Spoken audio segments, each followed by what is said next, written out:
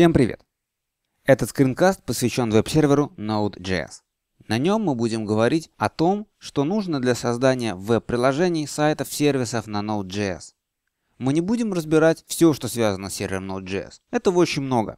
Но все самое главное, самое важное для создания сервисов веб-приложений мы разберем достаточно подробно, чтобы вы не только понимали, как это делается, но и понимали, почему оно работает, как там что внутри устроено в этом сервере, и что делать, если почему-то у вас что-то не работает.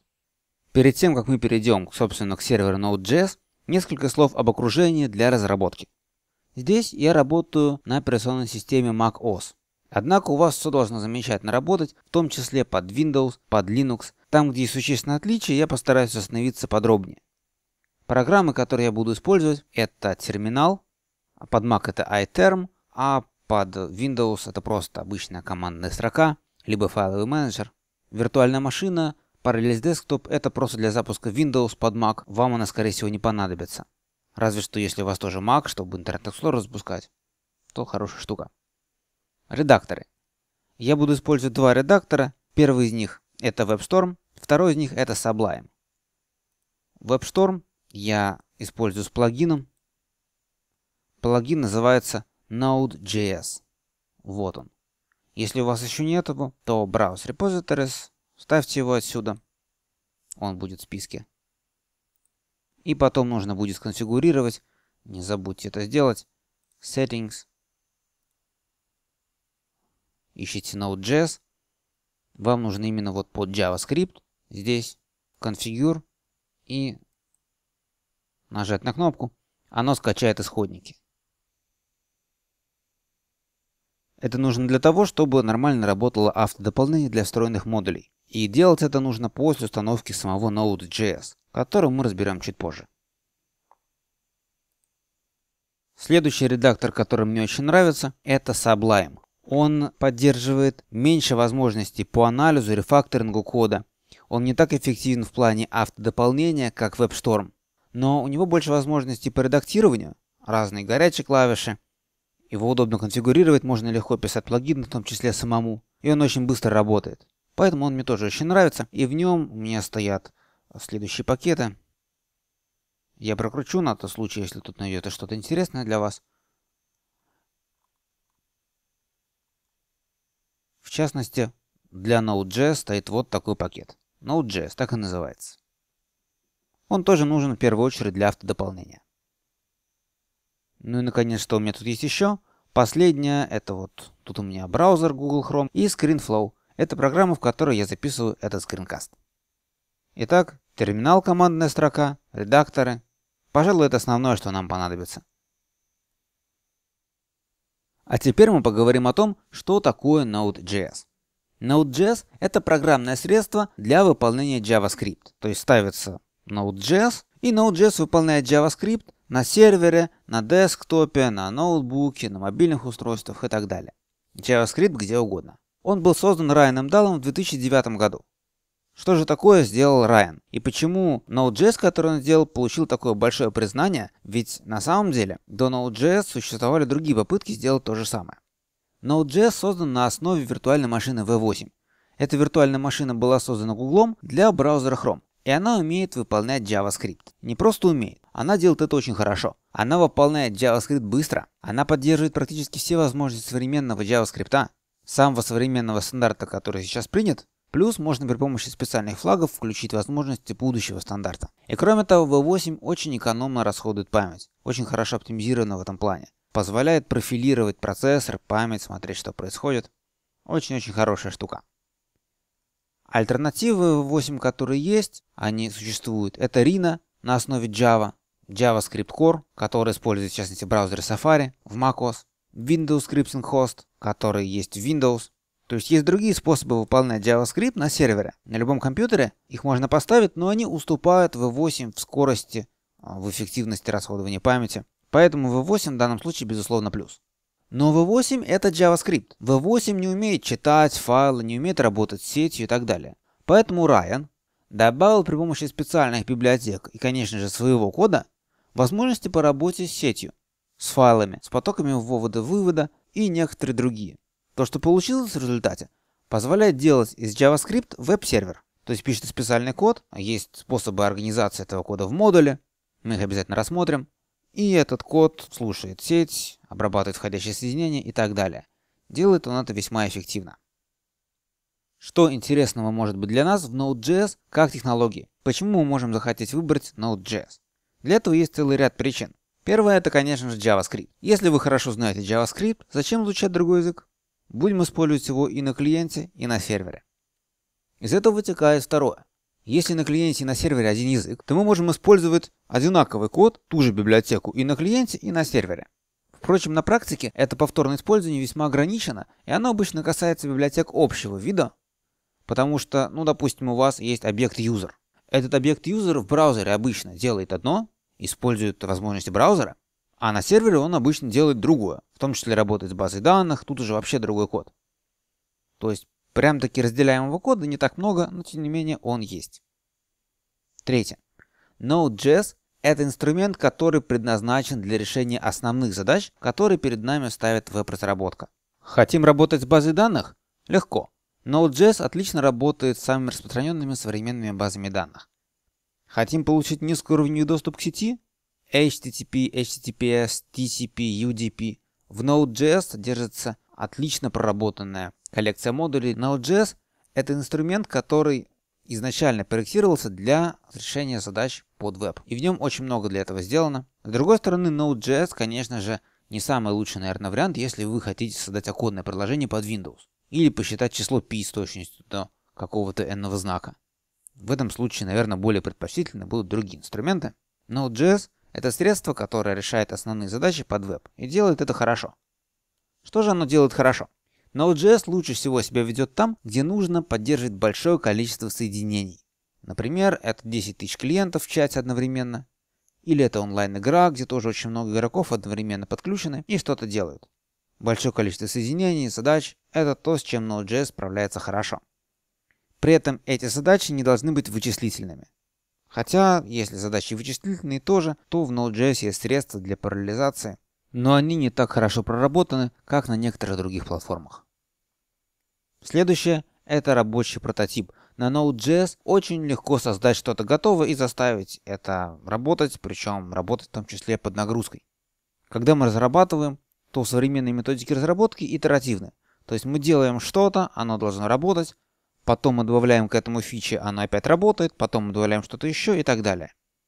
И на Node.js первый этап проходит очень быстро. А если все в порядке с архитектурой, то и дальше оно отлично расширяется. Дальше. В Node.js есть очень удобный менеджер пакетов NPM, мы его подробно рассмотрим, и есть очень много готовых пакетов, которые можно поставить и работать с ними. Ну и наконец, сообщество. Есть много-много людей, которые любят Node.js, которые пишут под Node.js, которые поддерживают то, что они сделали под Node.js. Преимущественно это индивидуальные разработчики или небольшие компании плюс сообщество. Поэтому такая ситуация складывается, что есть очень много готовых пакетов модулей, которые нужно поставить, и они вместе нормально работают. Для приложений на Node.js совершенно нормально, если оно использует 20, 30, 50, 80 готовых модулей даже. Такая вот матричная структура получается, когда есть много-много маленьких модулей, которые вместе интегрируются и отлично работают благодаря тому, что Node.js предоставляет для этого фреймворк. Ну что ж, время завязывать со всякой вводной теорией и переходить к практике. Сейчас мы посмотрим, как установить Node.js, как на нем выполнять скрипты и немножко залезем в документацию. Для этого я первым делом зайду на сайт node.js.org. Здесь есть такая большая кнопка Install, которая, как правило, позволяет скачать пакет наиболее подходящий для вашей операционной системы. Вначале посмотрим, что с macOS. С macOS все просто. Я жму на install, скачивается PKG, и он ставится, просто все подтверждаю. Вообще, все очень очевидно, я даже не буду этого делать, ошибиться тут невозможно. Следующее — это Linux. С Linux все чуть сложнее, потому что в Linux обычно есть различные пакеты, но в пакетах часто не самая новая версия. А при работе с Node.js все-таки очень рекомендуют использовать последние версии, потому что иногда сильно что-то меняется. Так что, если вы ставите из пакета, то, пожалуйста, убедитесь, что версия именно последняя. Сейчас это, видите, 0.10.5, А на тот момент, когда вы будете смотреть этот скринкаст, может быть будет уже что-то и более новое. Отлично. Если у вас пакет устарел, то Node.js замечательно компилируется из исходников. Для этого можно найти Node.js, Linux и куда-нибудь кликнуть. Например, вот сюда. И здесь будут инструкции по сборке Node.js под Linux. Configure, make, make install. Если у вас операционная система какая-то конкретная, то Node.js, например, Debian. И вы тоже находите необходимые пакеты, которые нужно поставить. Их всего несколько, после чего Node.js замечательно компилируется. Вот, скажем, инструкции для Debian. Если вы работаете под Linux, то для вас не составит проблемы в этом разобраться. Ну и, наконец, Windows. Под Windows я проведу полную инсталляцию, так как именно у пользователей этой операционной системы, как правило, возникает наибольшее количество вопросов. Нажимаю на Install и скачиваю Node.js. После того, как он скачался, запускаю и соглашаюсь со всем, что предложит инсталлятор и операционная система. Все по умолчанию. Отлично, Node.js установился. Теперь я запущу файловый менеджер. У меня это far. И посмотрим, куда этот Node попал. А попал он в Program Files. По умолчанию он вот здесь. И тут есть как файл Node, так и npm. npm это пакетный менеджер, мы посмотрим его немножко позже. Node.js, когда ставится, прописывает себя в переменную path. Вот. Вот здесь, видите? Node.js и npm. Это очень важно, если вы запускали файловый менеджер до того, как поставили Node, то возможно переменная у вас старая, и тогда запуск Node из произвольного места просто не будет работать. То есть, если вдруг не работает такой запуск, то перезапустите ваш файловый менеджер, чтобы переменная обновилась. Все, я запустил Node, и это так называемый режим REPL. Или, иначе говоря, простейшей консоли, когда я могу вводить JavaScript выражения, и они выполняются.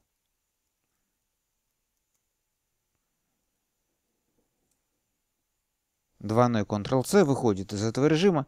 Вообще этот режим используется достаточно редко. Здесь мы его используем просто, чтобы проверить, что установка прошла успешно.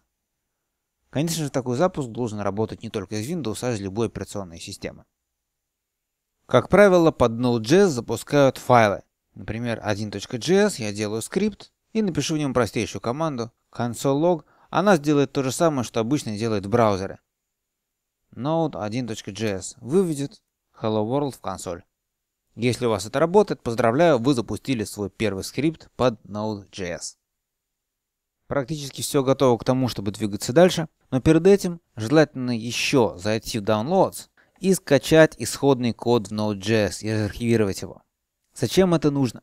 Node.js содержит в себе как код на C++, так и JavaScript код для встроенных модулей. Многие встроенные модули написаны на JavaScript и потом, используя возможности V8, скомпилированы уже выполняемые файлы и слинкованы с Node.js, но для нас не так важно, мы здесь с C++ разбираться не будем. Но если мы хотим залезть внутрь встроенных модулей, а нам иногда нужно будет это делать, чтобы понять, как оно работает, то нужно эти встроенные модули скачать. Вот они в исходниках. Я этот файл уже скачал, разархивировал. Содержимое нужно зайти в директорию lib. И вот эти файлы. Обращаю ваше внимание, если вы просто поставили Node.js из пакета, уже скомпилированный, готовый, в том числе под Windows, то этих файлов не будет. И залезть, например, внутрь модуля HTTP, посмотреть, что тут как происходит, вы не сможете. Впрочем, вы можете делать это не сейчас, а потом, когда нам это действительно понадобится. Несколько слов по документации. Документацией мы будем пользоваться стандартной. Вот она. Тут достаточно много модулей. Если я хочу что-то найти в документации, я обычно ищу так. Node.js, например, консоль. И мне Google тут же все выдает. Документация, тут значит ссылки. И тут такая отдельная плашечка Stability. Хочу обратить на нее особое внимание. В Node.js есть модули с различным уровнем готовности. Условно говоря, от 0 до 5. Вы можете прочитать по это подробнее в документация about these docs, вроде бы здесь, stability, вот. Смысл такой, что 0 это значит, что этот модуль не стоит использовать, а дальше от единицы до 5 различная степень стабильности. И фишка здесь в том, что стабильность, например, такая unstable или experimental, то есть низкая, она не означает, что модуль плохо работает. Модули с такой стабильностью могут работать замечательно без единой ошибки. Стабильность означает всего лишь то, что API этого модуля, то есть набор функций, методов, может в дальнейшем измениться. Соответственно, использовать методы нестабильные можно, ну, стоит иметь в виду, что они могут поменяться в будущем. При этом работать они могут вполне хорошо. Вот, пожалуй, все, что сейчас хотелось бы сказать по документации. В дальнейшем будем время от времени к ней обращаться по мере нашей разработки и углубления в Node.js.